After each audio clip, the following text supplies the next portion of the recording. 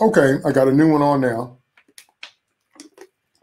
So hopefully on Facebook, that's clearer and there aren't as many statics and freezes. I don't know why that was happening before. Uh, Facebook wasn't telling me exactly what was causing it, just that my frame rate was too low, but I didn't know how to fix that. So anyway, here we are on this new one. So jump on this one. Jump on this chat. Uh, shouldn't be any as many clicks and pops and, and freezes on this one. Okay. So yeah, so that's the kind of stuff that's been going on. And I'm talking about God has been doing stuff to deliver cities, entire cities of people. Okay, is that better, clearer? Okay, so is the picture better? Is the picture clearer? Is it less uh, less staticky and all the different kind of stuff? Let me know because I'm trying to be sure that the picture is clear.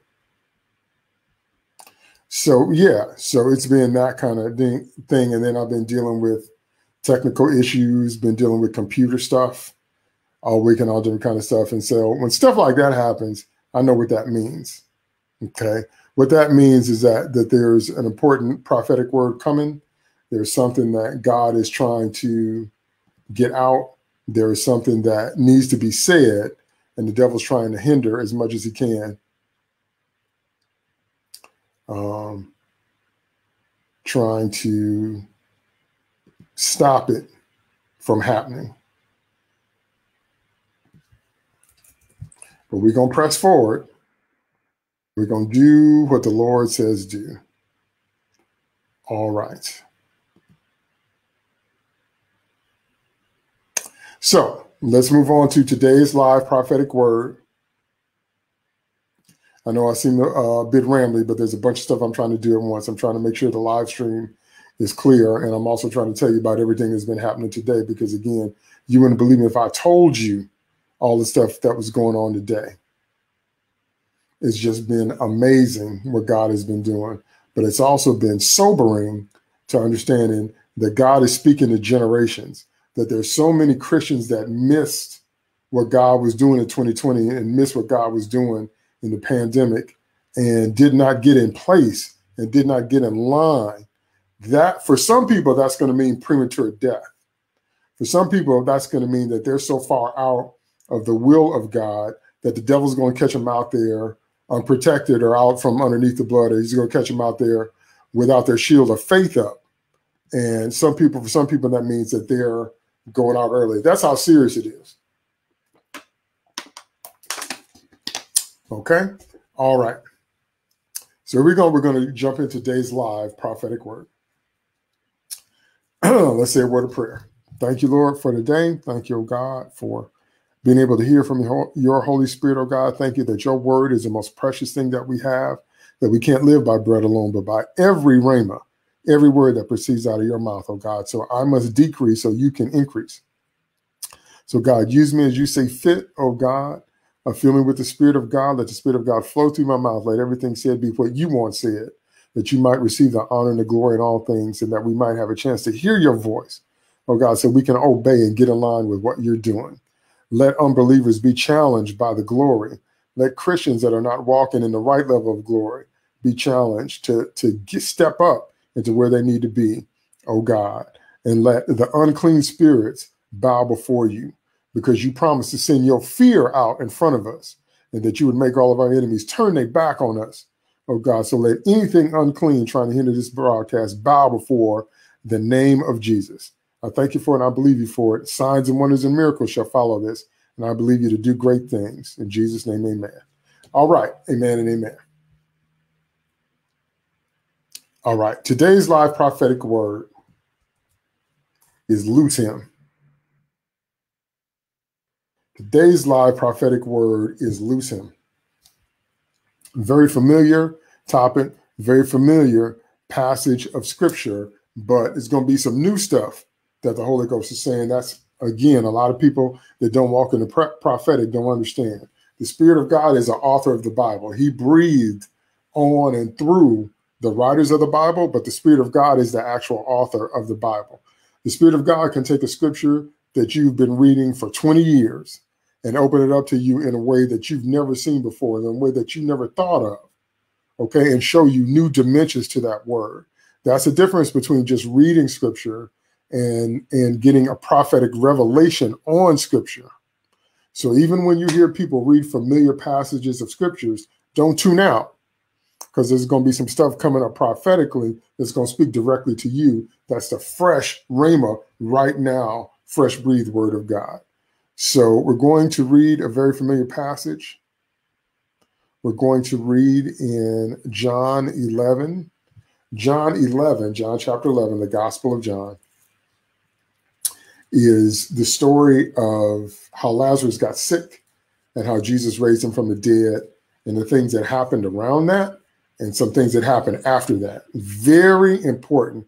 This prophetic word is aimed at some very specific people where this stuff is about to happen in your life. So whether you are watching me live or watching me on the replay, understand and know of a surety that these things are about to happen in your life and God is trying to get you ready for them. That's what this is about. Okay. John chapter 11, verse 1. Now, a man named Lazarus was sick. He was from Bethany, the village of Mary and her sister Martha. This Mary, whose brother Lazarus now lay sick, was the same one who poured perfume on the Lord and wiped his feet with her hair. So the sisters sent word to Jesus, Lord, the one you love is sick. When he heard this, Jesus said, This sickness will not end in death. No, it is for God's glory, so that God's Son may be glorified through it. Now, Jesus loved Martha and her sister and Lazarus. So when he heard that Lazarus was sick, he stayed where he was two more days. And then he said to his disciples, Let us go back to Judea. But, Rabbi, they said a short while ago, the Jews there tried to stone you, and yet you're going back. Jesus answered, Are there not 12 hours of daylight? Anyone who walks in the daytime will not stumble, for they see by this world's light. It is when a person walks at night that they stumble, for they have no light. After he said this, he went on to tell them, My friend Lazarus has fallen asleep, but I'm going there to wake him up. His disciples replied, Lord, if he sleeps, he'll get better. Jesus had been speaking of his death, but his disciples thought he meant natural sleep. So then he told them plainly, Lazarus is dead. And for your sake, I'm glad I was not there so that you may believe. But let us go to him. Then Thomas, also known as Didymus, which means twin, said to the rest of the, of the disciples, Let us also go that we may die with him. On his arrival, Jesus found that Lazarus had already been in the tomb for four days. Now, Bethany was less than two miles from Jerusalem, and many Jews had come to Martha and Mary to comfort them in the loss of their brother. When Martha heard that Jesus was coming, she went out to meet him, but Mary stayed at home. Lord, Martha said to Jesus, if you had been here, my brother would not have died. But I know that even now God will give you whatever you ask. Jesus said to her, Your brother will rise again. Martha answered, I know he will rise again in the resurrection at the last day. Jesus said to her, I am the resurrection and the life. The one who believes in me will live even though they die, and whoever lives by believing in me will never die. Do you believe this? Yes, Lord, she replied, I believe that you are the Messiah, the Son of God, who has come into the world. After she had said this, she went back and called her sister Mary aside. The teacher is here, she said, and is asking for you. When Mary heard this, she got up quickly and went to him. Now, Jesus had not yet entered the village, but was still at the place where Martha had met him. When the Jews who had been with Mary in the house, comforting her, noticed how quickly she got up and went out, they followed her, supposing she was going to the tomb to mourn there. When Mary reached the place where Jesus was and saw him, she fell at his feet and said, Lord, if you had been here, my brother would not have died. When Jesus saw her weeping and the Jews who had come along with her also weeping, he was deeply moved in spirit and troubled. Where have you laid him? He asked. Come and see, Lord, they replied. Jesus wept. Then the Jews said, See how he loved him. But some of them said, Could not he who opened the eyes of the blind man have kept this man from dying?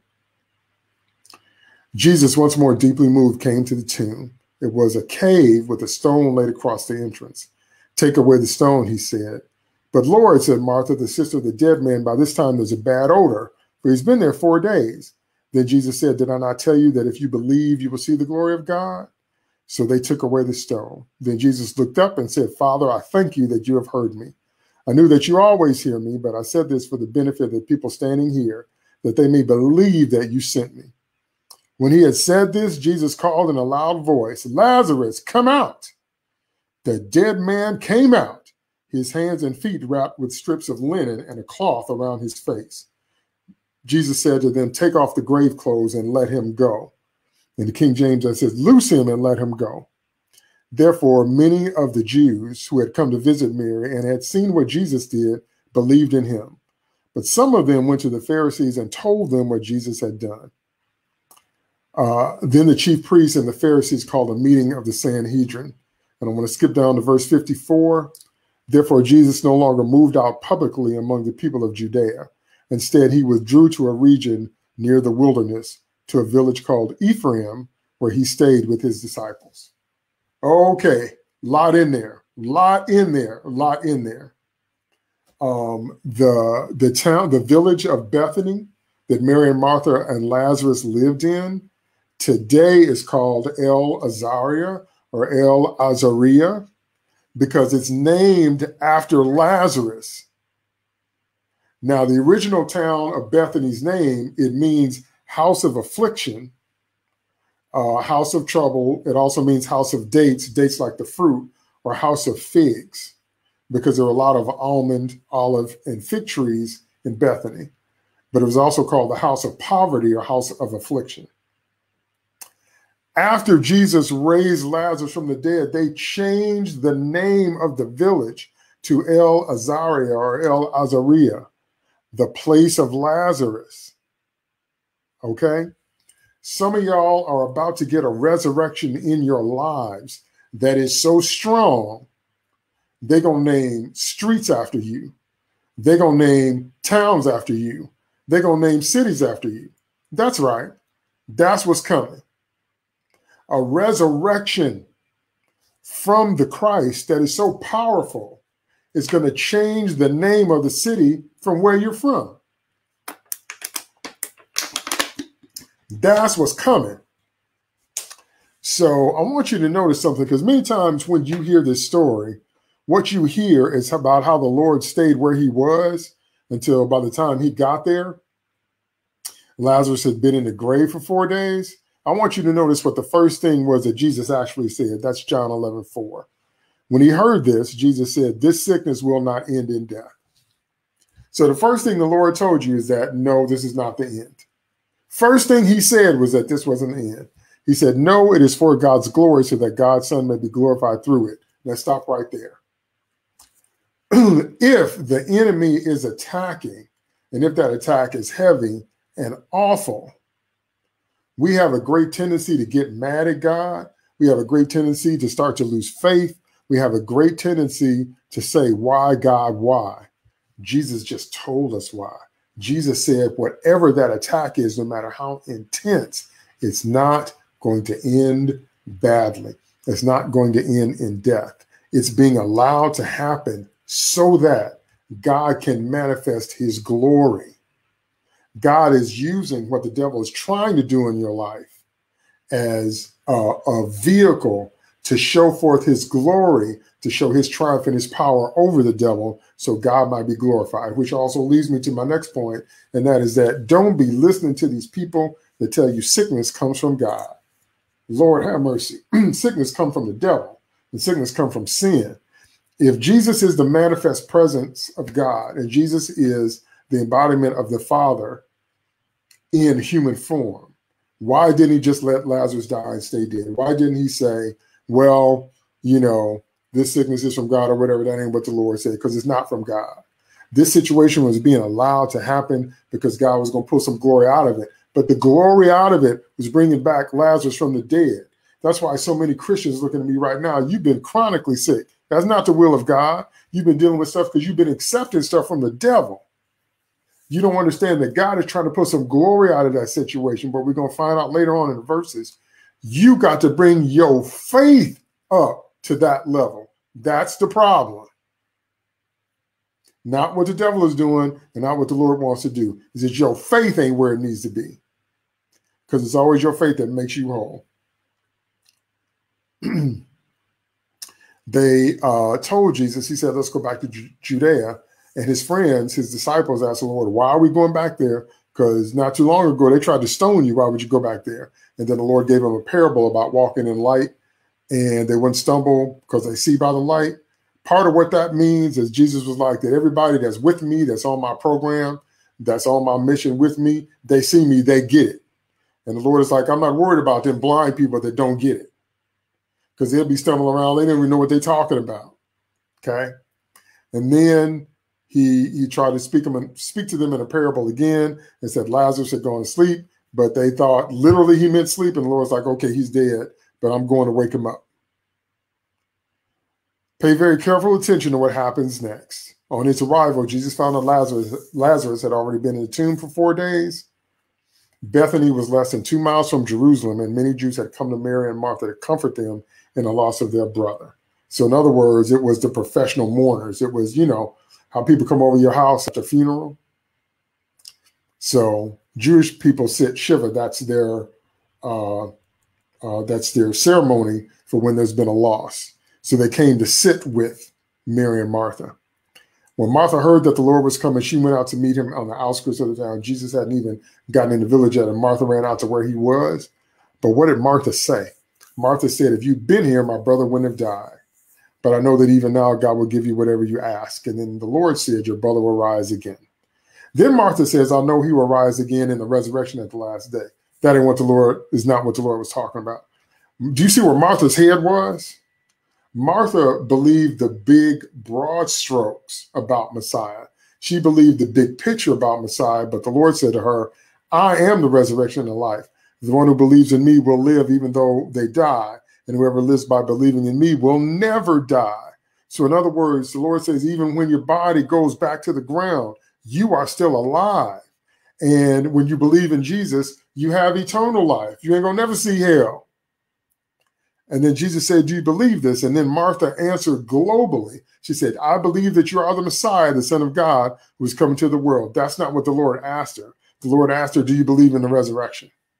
Do you believe that I'm the resurrection? That you talk about an event on the last day, but the Lord said that event is actually a person. It's me. I'm the life, the Lord was saying. And he said, if you believe in me, you live. He said, do you believe that? And she didn't answer that question because she's still thinking globally. Her faith is not where it needs to be. That's what I'm trying to get you to see. Then I'm going to show you something very interesting. After she said after she had that conversation with Jesus, she went back and uh, told Mary, called Mary to the side in the midst of all the mourning, and said that the Lord is here, the teacher is here, the rabbi is here, and he's asking for you. So Mary bounced and said, All right, I'm out. And she ran out. She said, I'm out to all the people. And she ran out to where the Lord was. And the Lord was, still wasn't in the village, but at the place where Martha met him. And so when all the mourners saw how quickly Mary got out the house, they followed her because they thought she was going to the tomb. Mary got to the place where Jesus was and she fell at his feet, but then she said this. She said, Lord, if you had been here, my brother would not have died. That is, yeah, that is word for word what Martha said. What does that tell you? These women both had women both had the same confession. Their faith wasn't where it needed to be. They both were at that same level of confession that we believe you could have prevented his death from the sickness. So if you had come when we called you, then Lazarus wouldn't be dead now because you could have stopped him from dying. But like the Lord explained to Martha, the Lord was like, No, I'm the resurrection. I'm the one that brings people back. I'm the one that gives people life. I'm the one that pulls life out of death. And even if your body lays down, I can bring it back.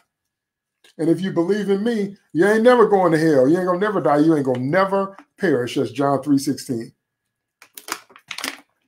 And then the Lord asked Martha, Do you believe that?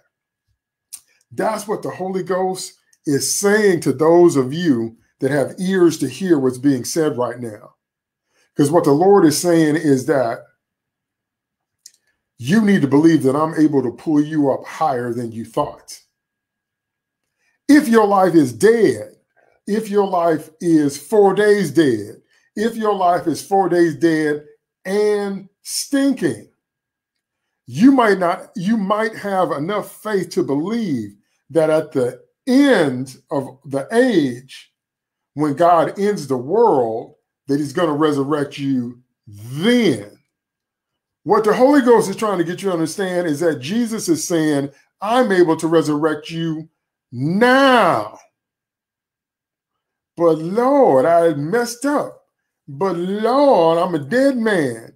Lord, my life is four days dead. Lord, my life is so dead, it stinks. It's rotting. It's rotten. The Lord is trying to demonstrate to you here through Mary and Martha's confession that they believe the big global things about Jesus. They believe the broad strokes, and the Lord was saying, No, I'm better than that. I'm more than that. I got more power than you think I do. I'm not talking about a future event. I'm talking about I can bring it back right now. That's what the Holy Ghost is saying to those of you that have ears to hear. That some of you only have broad stroke faith, some of you only have general faith, but the Lord is saying, I can raise your life back from a life that's dead, that's even been dead for a minute, and even so dead it sinks. The Lord said, I can bring you all the way back. I can lift you higher than you think I can. And the Lord says, that's going to happen right now.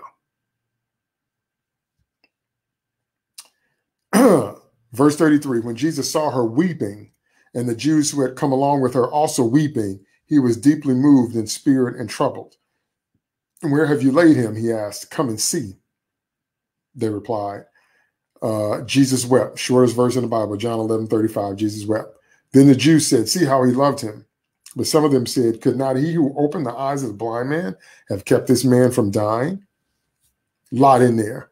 First of all, I asked the Lord, because people have speculated over and over and over again about why Jesus cried. So I asked the Lord, why, why did you cry? Why were you moved? And the Lord said, with compassion. So, in other words, when the Lord saw one of his best friends, because the Lord was tight with Mary, Martha, and Lazarus, and when the Lord saw her grief, and when he saw all the Jews that had come along with her, they're crying, the Lord, he was deeply moved in spirit and troubled. In other words, they touched the heart of the Lord. The principle is that when you are going through something that has you weeping and crying, you touch the heart of Christ. And I know sometimes because of pride, sometimes we don't want to hear that because sometimes we're blaming God. But you don't understand, like that first principle I gave you, that this situation is being allowed because God's going to pull some glory out of it. Okay, not because God's want to leave wants to leave you in it. The devil brought something and God allowed it to happen because he's going to get the glory by reversing the whole situation. But the pain of it is still going to affect you. And the Lord says, when he sees that, he weeps. He's moved with compassion. He feels what you're feeling. He's sad when you're sad. He's hurting when you're hurting. Many times we don't preach to Jesus like that. And then some of them said, could he could not he who opened the eyes of the blind man have kept this man from dying? So you're always gonna have them folks that's flapping their gums. Okay. But you see where the level of faith was until the next verse. Because God doesn't move until it's faith that's on the level it it needs to be. What do I mean by that? I, I've, I find myself having to explain this concept over and over and over because it's been taught so poorly for so long. Faith is a substance. Faith is like muscles. So if you think about the muscles in your body, if you work out, you're in better shape than people that don't. If you do pull-ups and you get used to pulling up the weight of your body off the ground, you got more upper, upper body strength than people that don't do that.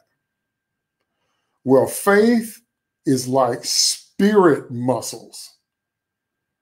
Faith is like muscles, but in the spirit. So, in other words, if I'm going in the gym and I'm trying to bench press something and I haven't been working out, I, then I won't be able to lift that weight. Well, when you have a problem where the power of God needs to manifest, if you haven't been feeding your faith with a steady diet of the Word of God, with a steady infilling of the Spirit of God, with being around people of faith, then you won't have the spiritual muscles to lift the problem off you and rebuke it. That's that's the analogy I'm trying to get you to see. That if you haven't been working out and you need to lift something, if you had developed your muscles, you might be able to lift it. But because you haven't been working out, you don't have the strength you need to lift that. Well, faith is spirit muscles. So that means when the devil or life is presenting you with a problem, for you to get the victory that you want to get, you have to believe God on that level to trigger the manifestation and release of his power. So if Satan hits you at a level seven problem in your life, your faith is at a level three. What that means in no uncertain terms is that you're going to have to build your faith up from a level three to a level seven, and then you can rebuke the devil. You can meet the devil at the level he hit you on and push him back out your life. And if you don't do that, you might die early, or Satan just might beat up on you because your faith ain't strong enough, high enough to meet him at where he hit you. Do you follow all that? That's what a lot of people don't get. So when people react like Job did in the Bible, they just sit down and say, Oh, the Lord give it and the Lord take it away. That's religious people that don't have no relationship. That's why Job suffered for so long. Because Job had to get his faith up till he realized Job had to stop trusting in himself and realize that he couldn't stand against the devil in his own name. Then he had a vision from the Lord and he saw God, and Job realized that he was self righteous and he con- confessed from all that and realized that the only righteousness comes from God. And when Job got there, then his fortunes were reversed because now he had the faith to believe that that's why it happened. So Mary and Martha and the people were at the same level of faith because they confessed the same thing. They said, if Jesus had been here, Lazarus wouldn't have died. And the crowd said, that Jesus opened the eyes of the blind man so he could have kept Lazarus from dying. That's what their head was. Jesus was trying to challenge, challenge them to a high level of faith. That's why the Lord said to his 12, I'm glad I wasn't there. I'm like, why are you glad you weren't there? Because he was trying to get them to come up to see that I'm not just able to stop Lazarus from dying. I'm able to bring Lazarus back after he died. So, what triggered? What triggered? What triggered enough faith for the Lord to do the miracle? I'm about to show you. Uh, John 11 38. Jesus, once more deeply moved with compassion, came to the tomb. It was a cave with a stone laid across the entrance. That's the same kind of tomb they buried Jesus in, by the way. And the Lord said these words in verse 39 He said, take away the stone. Here come Martha with her but Lord. But Lord, said Martha, the sister of the dead man, by this time there's a bad odor, for he has been there four days. What does that mean to your life? Hear me. Hear what the Spirit is saying, what I'm about to say. The Lord is saying, You've been complaining to God that I have messed up so badly, or I've messed up for so long that my life is stinking. So what are we going to do with that? I've been in that grave for so long. I've been down so long. There's one song that said, I've been down so long that down don't bother me. And there's another thought that says, I've been down so long, I don't remember what up is like. don't you know some people haven't laughed in so long they forgot what laughter was like? Some people haven't been happy so long they forgot what it's like to be happy.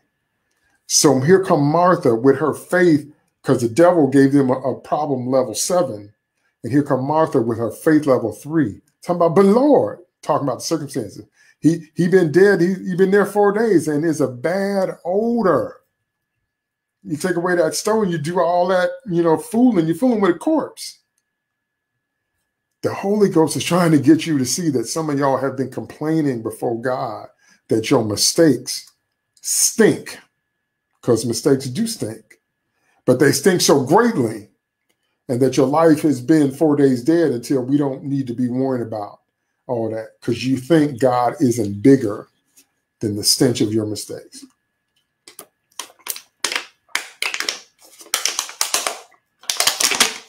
That's you coming with your faith level three, trying to say that God is not bigger than something that stinks, that God is not bigger than something that might be stinking in your life.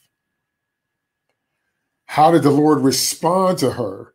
Verse 40. Then Jesus said, Did I not tell you that if you what? If you believe, if you what? If you believe, if you what? If you believe, you will see the glory of God. In other words, Hear me. Hear what the Spirit is saying. God is trying to tell you He's ready to do a resur- resurrection miracle in your life that's greater than the fact that you were dead, the fact that you were four days dead, and the fact that you were four days dead and stinking. The Lord is saying that your mistakes, He's bigger than your mistakes. He's bigger than the odor that your mistakes caused. He's bigger than however long you've been in that tomb. And He said, Did I not tell you that if you believe, He was talking to Martha about the here and now, you will see the glory of God. Right now here comes the answer in verse 41. Verse 41 starts out by saying, So they took away the stone. That was it.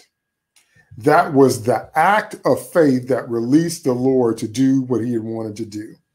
I stopped by to tell you that if them people had not taken away the stone, the Lord would not have caused Lazarus, called Lazarus out of his grave.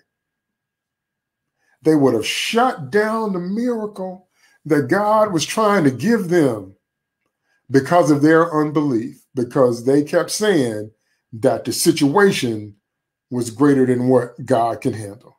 What I'm trying, what the Holy Ghost is trying to get you to understand is that that's what some of y'all been saying to the Lord. But the key is to do what the Lord told you to do. He told them to take away the stone, so they took away the stone. Then Jesus looked up and said, I want you to notice Jesus didn't look up and pray to the Father until after they took the stone away. Why? Because it required an act of faith for the Lord's power to be released, for them, for somebody to say, even though we're at a level three and the problem is at a level seven, we believe you that you are greater than that level seven. So we're going to go on away and take away the stone. We're going to go ahead and take away the stone. That means some of y'all, God's going to tell you something today or this week that's going to be a take away the stone type commandment. The Lord's going to tell you to do something, and the Lord does not want you to respond by saying, I've, I've been dead for so long, I've been dead for four days, and I stink. God does not want you to bring any of that up. God wants you to take away the stone. Then Jesus looked up, verse 41, and said, Father, I thank you that you have heard me. I knew that you always hear me, but I said this for the benefit of the people standing here, that they may believe that you sent me. What does that mean? That means what Jesus said earlier in the chapter that everything that was allowed to happen with Lazarus was to increase the faith of all who saw the miracle and that they might believe on the name of the Son of God. In other words, God is trying to give those of you that are in very tough situations, He's trying to give you comfort. He's trying to tell you that the situation, though it looks bad, though it's been going on for a long time, and though it stinks, the reason it was allowed was because God is going to bring some next level glory out of it. One more time. Even though the situation has got you crying, even though the situation has got you heartbroken, even though you're weeping so much until it makes the Lord weep with compassion for you. And even though your faith is at a level three, you say, well, God could have stopped all this. The Lord is trying to say that the situation was allowed to happen and continue because God is going to get some next level. God did not want a level three glory out of it. God did not want to give you a level three blessing out of it. You're already at a level three. God is trying to give you a level seven blessing out of it to show you that he's bigger than everything in your life that's been dead, that's been four days dead and stinking, and that he can give you a resurrection over on top of even all that going on. But you wouldn't see that God could do stuff like that, and you wouldn't have that level of faith unless the situation had been allowed to play out like it's played out. So, this passage of scripture actually prophetically is trying to encourage you to tell you that even though you're in a situation that hurts so bad you're weeping. God, what God is doing, because you wanted him to stop it before it happened, that would have been a level three. Jesus already proved he could do that. Jesus already proved he could heal sick people. He had already done that. But now he was trying to get them up to level seven and said, No, I can raise dead people.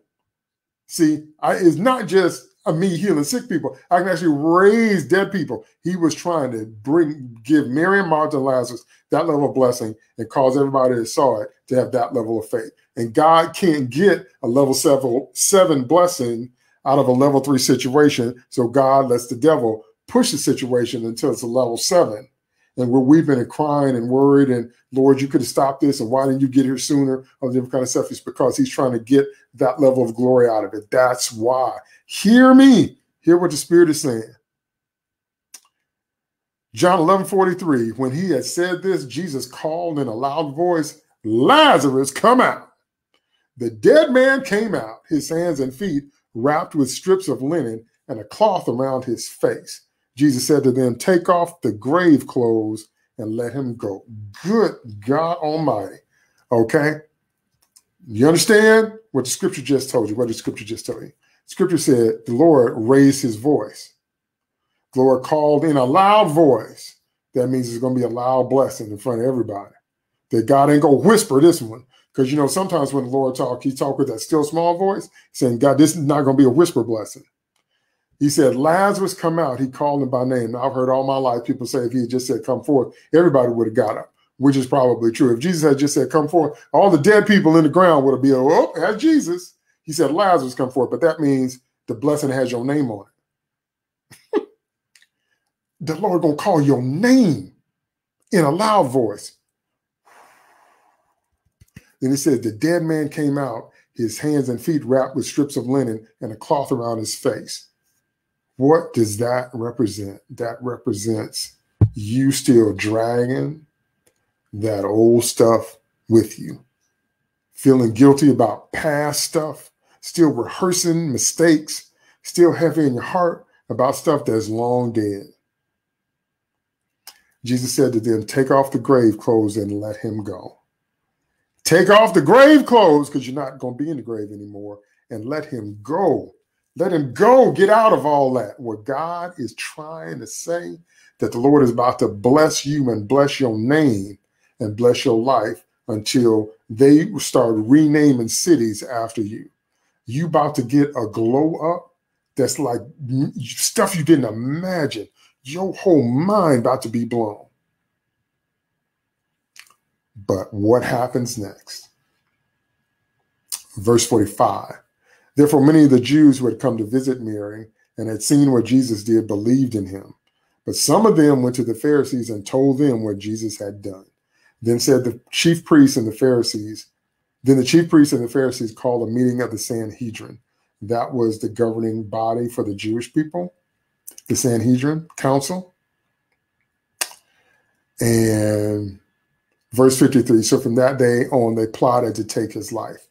Verse 54 Therefore, Jesus no longer moved about publicly among the people of Judea.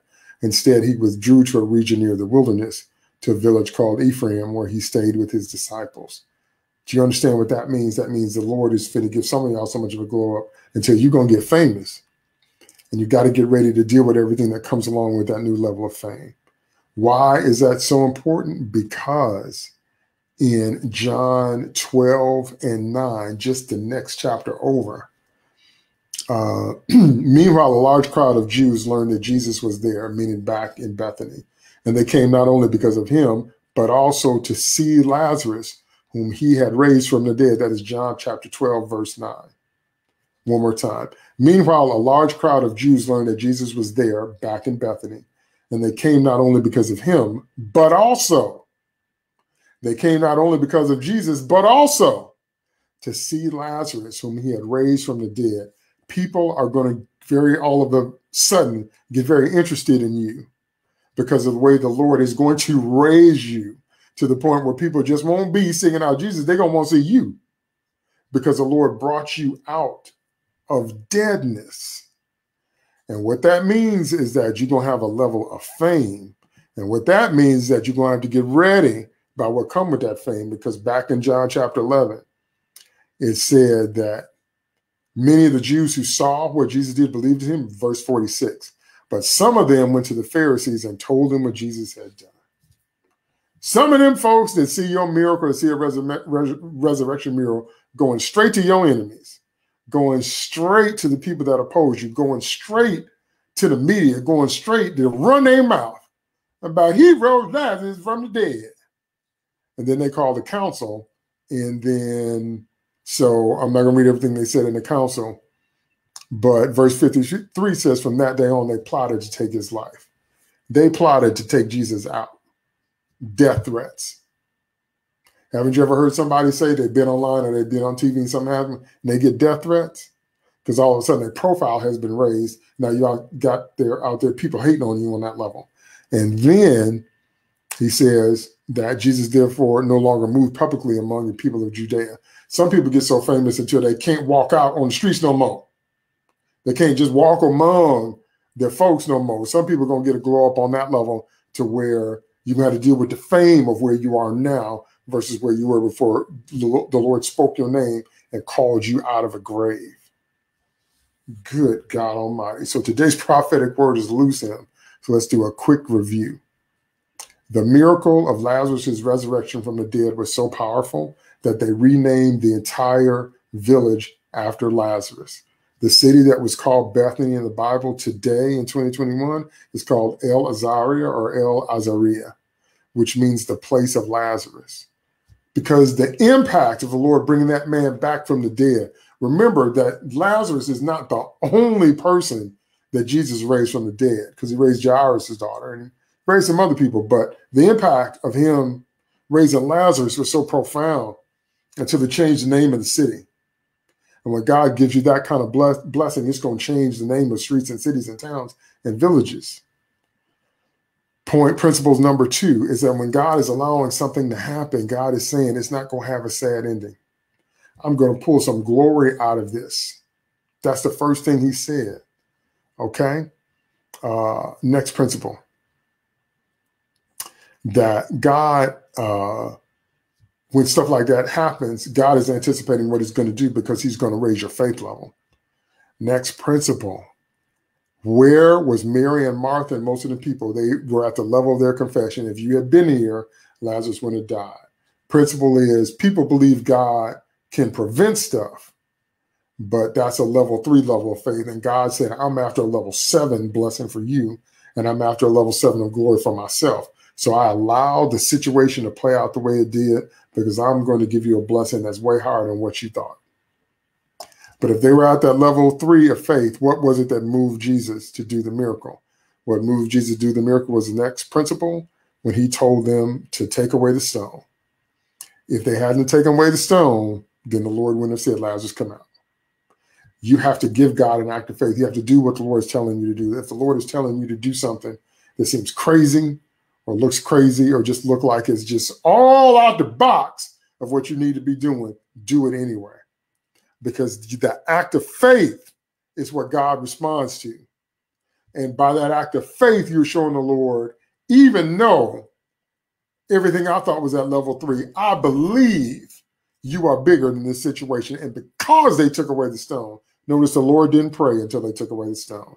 And then when he did, next principle, the Lord said, Lazarus, come out in a loud voice. The Lord's going to raise his voice. See, things happen when God raises his voice. The Lord is going to raise his voice and call you by name. And whatever grave you've been in, he's bigger than being dead, four days dead, and stinking. He's going to call you by name. He's going to call you out of obscurity, out of a grave, out of a life that you thought was never going to be nothing.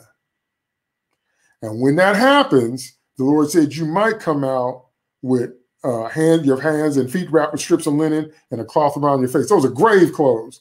So the next thing Jesus said was take the grave clothes off. Take off the grave clothes. God is saying that if you've been carrying your past around with you, it's time to take that off and let him go. Be loose from that. You don't have to carry that no more because God is finna to resurrect you at a higher level. All right. Uh, final principle, or, or the principle out of that is some folks gonna see that and believe, and some people gonna see that and run their mouth to your enemies. One more time. Some people are going to see what God does for your life and believe, and some people are going to go run their mouth to people that they know don't like you and people that are standing against you. So the Lord is saying you're going to have to learn how to take what come along with that new level of fame. Okay? Once he pulls you out of obscurity, once he pulls you out of deadness, there's going to be a new level of fame because some of it is going to be so powerful. You change the city behind you. They renamed it after Lazarus. And then uh, the Lord said he no longer moved about publicly among the people of Judea. See, it was that miracle. It was that miracle that gave Jesus such a level of fame that he couldn't openly walk around the folks anymore, even though he'd done other stuff like that before. It was that one that was the life changer for him to the point where he couldn't just be out and about among the people because the Lord sure loved to walk among the people because the Lord loves us. He sure loved to walk among the people, but he could no longer just be out and about anymore once he pulled Lazarus out the grave. So the Lord is saying, you got to get ready for the way your life is going to change once he gives you that resurrection call. All right? Amen and amen. That word blessed my heart, and that word absolutely blessed my life. Amen amen. So let me see if the Holy Ghost has anything else to say.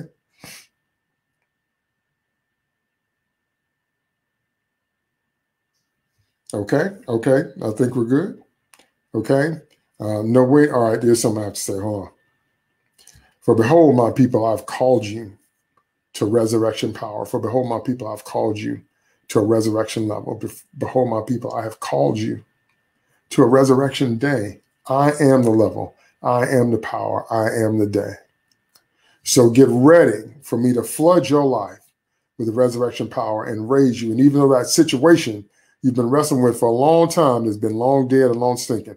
I'm about to bring you out of it in such a way until it's going to impact the world around you in a way that you've never seen before. And you will open your mouth and give me the glory in all things so people will know it was me, says the Spirit of the living God. Wow and wow. Amen and amen. All right. So this Thursday coming up is the second Thursday. That means it's time for the next installment of No More Genies. Okay, that exact date is Thursday, August. Wait, put on the calendar.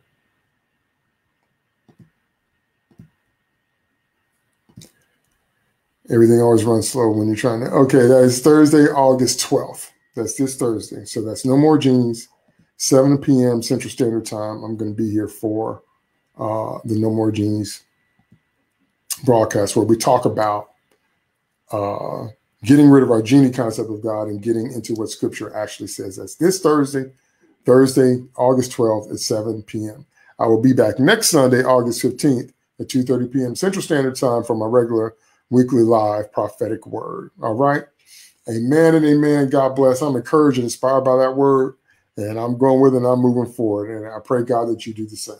All right. Amen. God bless. Thank you so much to those of you that watch me live on Facebook, those that watch me live on Insta, and those of you that are watching the replay, and also those of you that are watching the YouTube video. God bless. Thank you so much. I'll see you Thursday, 7 p.m. Central Standard Time for the next installment of No More Genies. And I'll see you next Sunday for the next weekly live prophetic word. Amen. And God bless. And remember, it's time for a resurrection miracle.